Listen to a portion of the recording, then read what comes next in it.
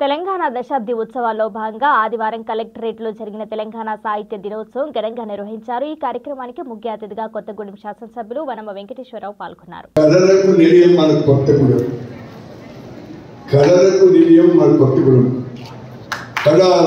నిలయం మన కొత్తగూడెం.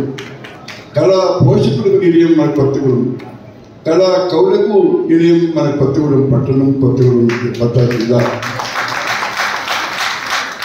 ఎందుకంటే ఉద్యమం ఇక్కడి నుంచి స్టార్ట్ అయింది పాలవుతు నుంచి. బహుశా మనకి కరెక్ట్గా తెలుసు తెలియదు కానీ మొట్టమొదటిసారిగా ఉద్యమం పాలవుతు స్టార్ట్ చేశాం. అలాంటి థర్మల్ పోలీస్ స్టేషన్లో